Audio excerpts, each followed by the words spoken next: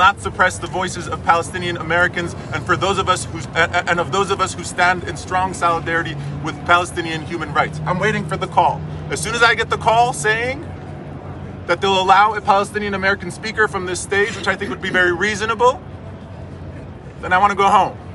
Until then, we'll be right here. My phone is charged. I'm waiting for the call.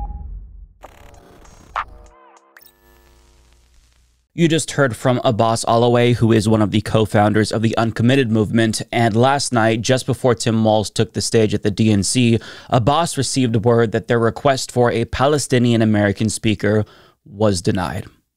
Now, one of the speakers in contention was Ruwa Romman, who is a Palestinian American state representative from Georgia, a really important swing state, and she gave us a glimpse of what her speech would have been had they invited her to speak. She writes on Twitter My speech urged us to unite behind Harris, criticize Trump, and spoke about the promise of this moment. Now, her speech has been published online in full. I'll link to that down below. I don't want to share it right now because, in the event she does get to speak, I'm still a little bit hopeful. Then I don't want to spoil it for you. But her speech is powerful. She says nothing objectionable whatsoever. She doesn't criticize Democrats. She explicitly endorses Harris and on top of that, she criticizes Donald Trump, as she said, and she calls for unity between everyone, including Jews and Arabs. Her speech is the perfect thing for this moment. This is somebody the DNC should be begging to have speak at that convention. But they denied her. Now, they've given speaking spots to a Border Patrol agent, the former CEO of American Express, multiple Republicans, including former Trump administration officials and anti choice Republicans, and perverts like Bill Clinton. But not a single Palestinian American was given a speaking spot. I guess the Democratic Party doesn't want to humanize the people whose families they're bombing, but I mean, regardless, Abbas made it clear that he wasn't willing to accept this as the final decision, and a sit in quickly started to form in front of the United Center. And their frustration, I've got to say, was palpable. Good evening, everybody. My name is Ruwa Romman. I am a Georgia State representative. I'm an elected Democrat. I come from the swing state of Georgia. We are not here to create any divisions. As my colleagues have said over and over and over again, the only reason we are here, the only reason we are here is to ensure that Donald Trump will never make it to the White House and save the lives of the people that we love.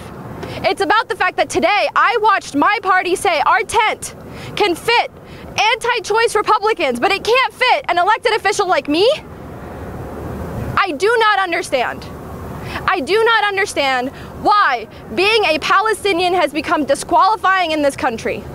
I don't know how much more we have to prove. All of us have decade or more long resumes working for this party because we know that this party is the only one that's ever tried to meet the promise of our country. We are here to literally save the soul of our party. I do not understand why that is a bad thing. This would have truly and sincerely been a beautiful gesture to show this party cares about the cries of an Israeli child the same way they care about the cries of a Palestinian child. Right.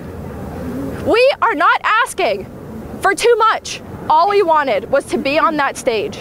I have been mobilizing voters in Georgia for 10 years. We helped build the electorate that delivered Georgia. There's 76,000 registered Muslim voters in the state. There are 55,000 Arabs that live in the state. Are you really going to tell me that it doesn't matter? Are you really going to tell me that we can deliver a win come November without them? That's not even including all the people who love us. That doesn't include all the people who care enough that went out and said, you know what, I am standing in solidarity with you. I should feel like a human being. I should be not feeling like I'm a second tier citizen here in this country. And just for advocating for my people to feel like it's okay to harass me. It's okay to feel, I mean, this is not just my struggle. There's a lot of us that are facing this backlash. But you know what? I stay resilient as a Palestinian person because I know that in Gaza, facing a genocide and I should keep being resilient and pushing forward because I am lucky. I am lucky to be here instead of in a refugee camp. I am lucky to be here instead of in Gaza. How are we supposed to celebrate and be joyful when the party they support is telling them that they're not welcome? It's incredibly demoralizing. It's the fact that they denied them is maddening to me. Now, the sit in quickly garnered a lot of attention and got a response from the Harris campaign. Slate journalist Alex Sammon reports uncommitted leader Abbas Alawieh says they've received new word from the Harris camp, this was late last night, which is aware of the sit down demonstration. Harris campaign's message a speaker is not happening. Would something else work? Would you be open to a private meeting? This is unacceptable. A speaking spot is one small thing that they are asking for. It's a symbolic gesture to Palestinian Americans to let them know that they're welcome in this party.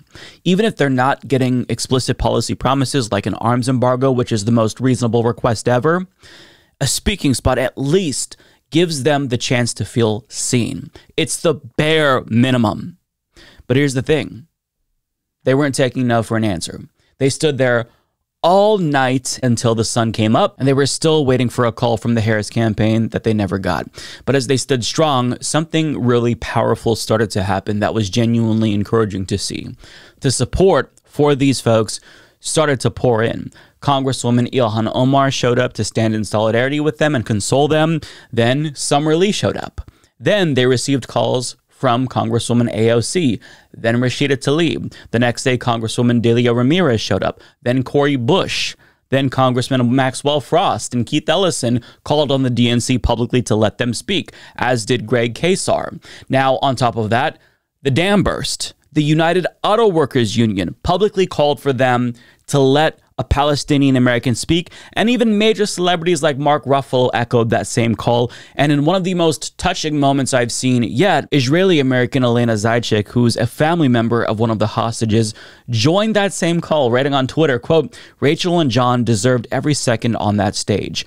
I also believe a Palestinian American voice deserves to be heard on that stage. I'd love to hear from Ruwa Romman, and I hope the DNC will give her the chance to be heard. This is what true solidarity looks like, and I'm so touched touched to see so many people stand up for their right to speak.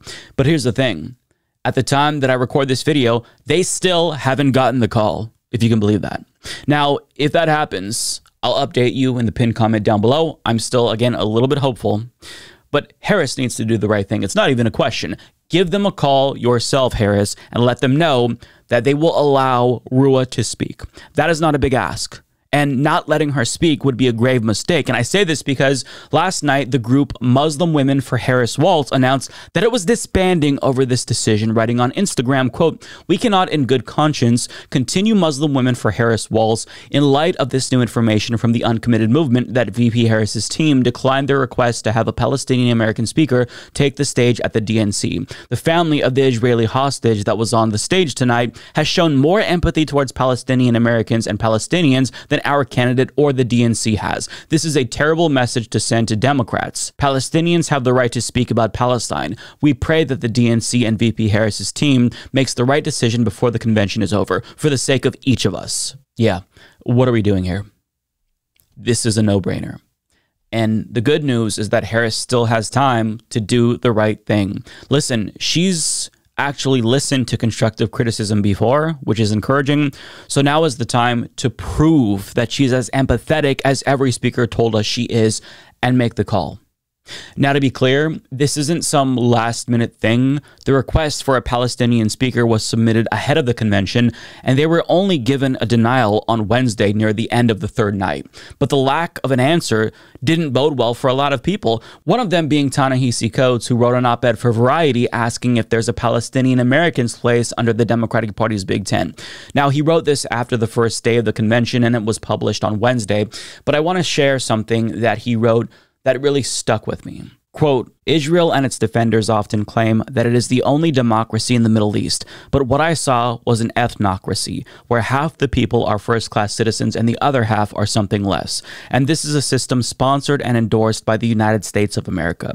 The endorsement is not contradictory. For most of its history, America too was an ethnocracy in democratic clothing. The ostensible triumph over that old system, which we call Jim Crow, is one of the most uplifting stories America tells itself, one that has been repeatedly invoked at the DNC. How odd I find it that a people presently brutalized by a similar system, whose relatives are being erased by that system's wanton violence, are also being erased from the stage. As Mark Twain put it, history doesn't repeat, but it often rhymes. Connor Thompson shared these photos comparing the 1964 DNC with the 2024 DNC with an explanation from Dan Berger, who explains 60 years after the Democratic Party refused to seat the Mississippi Freedom Democratic Party at its convention, the Democratic Party refused to even hear a vetted speech from a Palestinian at its convention. In both cases, party leaders are complicit with brutal violence. Exactly. And on that note, all this talk of a ceasefire is nothing more than a transparent attempt to placate the people in the Democratic Party who just want the slaughter in Gaza to stop. Because, as Ilhan Omar put it, if you really wanted a ceasefire, you just stop sending the weapons. It is that simple. Yep, so Biden's claim that he's fighting for a ceasefire rings hollow because his actions indicate that he doesn't actually support a ceasefire. We'll know that he's actually serious about getting a ceasefire when he cuts off the weapons to Israel. Until then, spare me this bullshit about him supporting a ceasefire or fighting for a ceasefire because it's just not true. But as for Harris, she doesn't have to do the same thing that Biden is doing. Palestinian and Arab Americans have given her more than enough grace, and now it's time for her to step up and prove to us that she's the leader that she wants us to think that she is. Make the call, Harris.